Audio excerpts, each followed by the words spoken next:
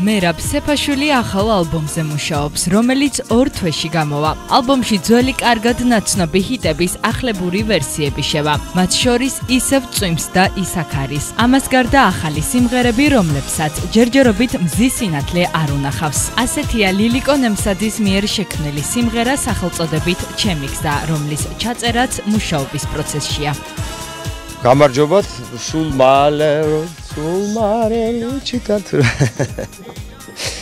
ესე იგი საახალწლოდ მე ვფიქრობ იქნება მზად. ყველაფერი.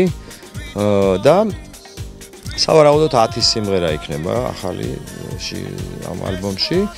და რაც თავარია მივაყოლებთ ახალ კონცერტს ამას ყველაფერს და ეს არის სასიამოვნო და საინტერესო და სულ ვიძახდი და ვიმეორებ და ეხლა ვიტყვი რომ ყველაზე სასიამოვნო და საინტერესო პროცესი არის ეს როცა მუშაობ და რაღაცას ქმნი ახალს და.